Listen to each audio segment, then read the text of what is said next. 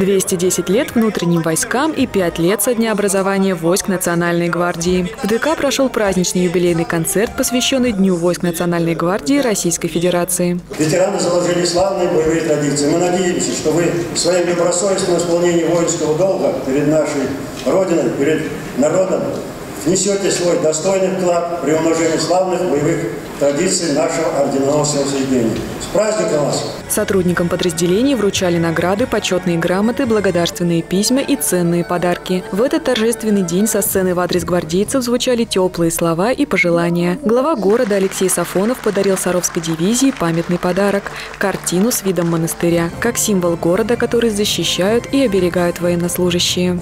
Большие слова благодарности хочется сказать соединению за то, что вы всегда участвуете во всех мероприятиях, во всех событиях нашего города. Это очень важно, потому что этот город создан отчасти также и вами, благодаря вашим ветеранам.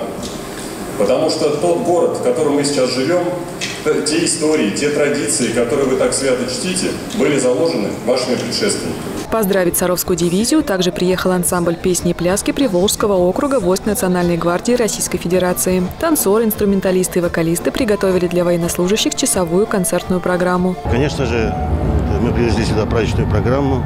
Совсем недавно, в феврале, у нас был фестиваль ансамблей всей Росгвардии Российской Федерации.